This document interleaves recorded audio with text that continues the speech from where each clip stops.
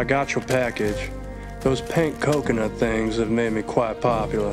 While snacks may come and go, there are still those fallen soldiers we can't seem to completely let go of yet. So here are more of the top 10 discontinued snacks Americans miss the most. Part 6 Hi-C Ecto Cooler.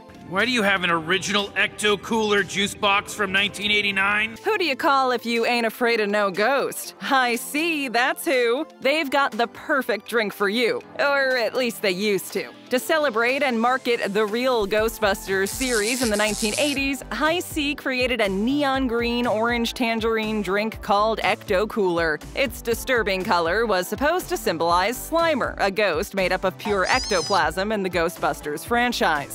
He slimed me. That's great! Surprisingly enough, even after the hype of the movie started to fade away, Ecto Cooler still remained on the shelves for quite some time before it was eventually pulled. There was something so enticing about the glowing, fluorescent drink that made it irresistible. While it did end up leaving shelves for a while, Ecto Cooler became available again for a limited time when the new Ghostbusters remake hit theaters. Now that there's a new Ghostbusters movie on the way, rumor has it that the funky, sugary juice will also make a comeback. Give you 20 bucks for it.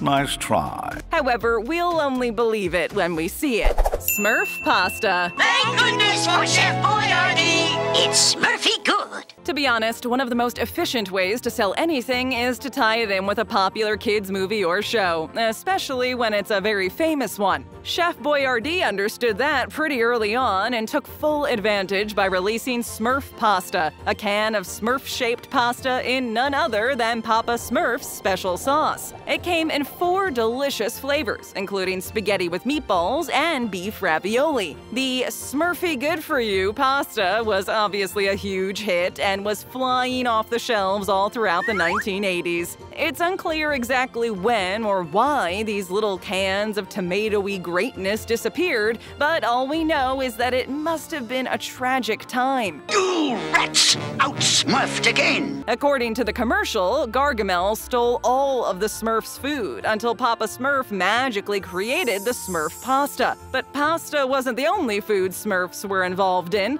A line of cereals to accompany your Saturday morning cartoons was also released in two flavors the Smurf Berry Crunch and Smurf Magic Berries. The Berry Crunch quickly became a morning staple with its fruity red and blue cereal, which was followed a few years later by Magic Berries with mini marshmallows added in, which sounds totally Smurfalicious. Smurf, exactly.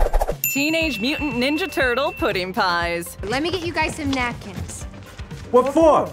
Cowabunga! It's time to bring back vivid memories of those who grew up watching the Teenage Mutant Ninja Turtles. From canned pasta to fruit juices, you couldn't escape Michelangelo, Donatello, Raphael, or Leonardo. The most notable food tie-in had to be the pudding pies. Nothing screams delicious more than very big, very green pre-packaged pies, right? Well, as it turns out, a disturbing color is exactly what these delights needed for them to be a success. Yeah, let me have it. Let's these neon pies were said to be heroes in a half shell baking a surprise, at least according to the 1990s commercial. Filled with mutagen goo that came straight from the sewer, don't worry, it was actually vanilla pudding, the pies had a flaky crust and came in four different wrappers, one for each turtle. As an extra goodie, every wrapper had a pudding point, which could be used to receive mail-in merch like metallic battle signal clickers, a Ninja Turtles t-shirt, trading cards, and stickers. Hostess ended up keeping the pies on the shelves for longer than originally intended, but Doomsday eventually came and the dessert was retired.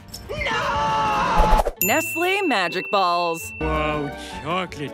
If you're a 90s kid, then you'll remember how much fun Nestle Magic Balls were. Pretty similar to Kinder Surprise eggs, Magic Balls were these big, thin chocolate spheres with a fun prize inside, typically either a Disney or Pokemon character. But even though they were basically destined to be a huge success, they were discontinued in 2004. What exactly happened? After all, we are from the land of chocolate. Well, it has everything to do with the danger of the toy found inside. By 1997, Nestle had received so many complaints about the toy prizes being choking hazards for children that despite efforts to convince parents they were safe, the company was not able to keep them on the shelves. So, in the year 2000, Nestle re released the candy, only this time with a new name and concept. The candy was now called Wonder Balls, with the toy being replaced by even more candy. Sadly, though, the product was discontinued again after being bought by the Frankford Company. You can still manage to get your hands on some Wonder Balls if you wish to relive your childhood. I believe I can bring him back. You can scope out either eBay to find some deals or surf certain candy websites for a chance to still get a taste of the delicious wonders of Wonder Balls. Sour cream and onion Doritos. Congratulations on becoming CEO. Do you know anyone at Doritos? No matter the flavor, Doritos never seems to miss the mark, and back in the 1970s, it broke new records of tastiness when it released the sour cream and onion flavor. These bad boys were delicious and received a lot of praise from fans, but despite their popularity, the company discontinued them the following decade. Why? What made these chips so special, you ask? It's not uncommon to see sour cream and onion flavor potato chips, but tortilla chips? That was unheard of. The chips did make a brief and much acclaimed comeback in 2013 as a throwback flavor, but again, it didn't stay on the market long enough to become a regular flavor. Oh, In Japan, you can still get your hands on some if you know where to look, but it seems like this tangy flavor will not be back on our shelves anytime soon, if ever. That said, some amateur Doritos testers have confirmed that the Cool Ranch variety comes very close to the original flavor, so there is still hope for anyone looking to experience sour cream and onion Doritos without traveling overseas. Willy Wonka's Peanut Butter Oompas. I know what you're thinking. They can't be doing what they're doing, but they are. While Reese's Cups dominate the peanut butter slash chocolate market, there was a time when another snack was close to the top Willy Wonka's Peanut Butter Oompas. If you remember the movie and you remember the little orange guys, then you should know about the PB Oompas. They were practically like oversized M&Ms, only they were filled with a little extra flavor. With half peanut butter and half chocolate in the middle, they were the absolute perfect treat. Perfection. For a brief, limited time, there were the Strawberry Oompas, which replaced the peanut butter layer with a strawberry flavor. The Oompas were first released in the 1970s, even before Reese's Pieces came into play, but were discontinued not too long after in 1983. What do you want? Nowadays, Nestle still makes Oompas, only it's not the good chocolatey kind. Now they're all about colorful fruit flavors. Thankfully, there are still peanut butter and chocolate snacks available, like PB M&Ms for instance, but it will still never be the same as the real Oompa Loompa Doompity Doo goodness. The taste simply lingers, just like the song will in your head forever. Jello 123. I hate Jello. Oh, come on, there's always room for Jello. It used to be featured in literally everything and was the star of every cookbook in the 1950s. However, it was in 1969 that Kraft Foods took things one step further and released a product that would make preparing a popular Jello dessert even easier Jello 123. It was basically a packet of Jello mix that would separate into three layers. Picture the texture of a cup of jello, pudding, and mousse together in one serving. It was like eating three desserts in one. To prepare this culinary gem, all you needed to do was add the mix to boiling water, blend it, and let the fridge do its magic. How do you make jello? Just mix it with water and let it sit. The problem with this snack wasn't the taste, it was actually pretty beloved. The issue was with the preparation process. Many complained that it took too long to do and didn't have the patience to wait for the layers to separate. I get away with this for another 122 years, you see. Sales began dwindling, so Kraft started to phase out the product in the mid 1980s until it was completely discontinued in 1996. Kraft still has the recipe on their website that recreates the fluffy dessert with a jello packet and Cool Whip. Space Dust. Yeah, they're pop rocks. They crackle in your mouth.